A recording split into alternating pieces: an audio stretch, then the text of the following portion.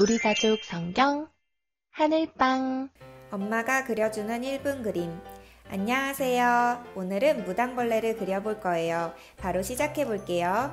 먼저 무당벌레의 얼굴을 둥글게 그려줍니다. 얼굴에 눈을 동글동글 그려주고 볼터치도 칠해줍니다. 웃고 있는 입도 그려줍니다. 머리 양쪽으로 더듬이를 그려줍니다. 가슴 부분을 살짝 그려주고 무당벌레 등의 날개를 그려줄게요. 날개 양쪽 경계도 표시해줍니다. 이제 다리를 그려줍니다.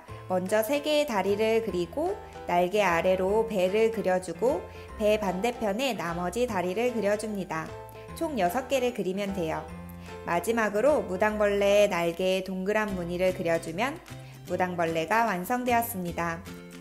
무당벌레는 정말 다양한 색깔을 몸에 갖고 있어요. 일반적으로 붉은색, 노란색, 오렌지색의 다양한 검은색 점을 갖고 있어요.